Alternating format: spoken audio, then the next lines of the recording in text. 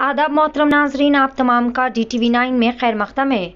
रियासती सड़कों और इमारतों के वज़ीर वेमुला प्रशांत रेड्डी ने कहा कि पुलिस कमांड कंट्रोल सेंटर का इफ्तिताह बतारीख चार अगस्त को तेलंगाना रियासत के चीफ मिनिस्टर के सी आर करेंगे। चीफ मिनिस्टर के सी आर की हिदायत के मुताबिक वज़ीर ने फ़ील्ड सतह पर पुलिस कमांड कंट्रोल सेंटर के फेंसिंग कामों का मुआयना किया।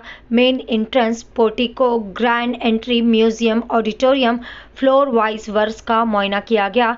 वज़ीर ने अहदेदारों और वर्क एजेंसी को हिदायत दी कि वो अफराधी क़ुव्वत में इजाफा करे और बकिया फिनिशिंग कामों को अफ्ताही तकरीब से कबल मुकम्मल करवा ले। अफ्ताही तकरीब की सजावट को ख़ास तौर पर पुरकशिश बनाने को यकीनी बनाने के लिए अहदेदारों को कई सारी तजावीज़ पेश की गई। अफ्ताह के बाद chief minister K C R command control centre का दौरा करेंगे। वज़ीर ने अहदेदारों से इंतज़ाम पर तबादला ख्याल किया।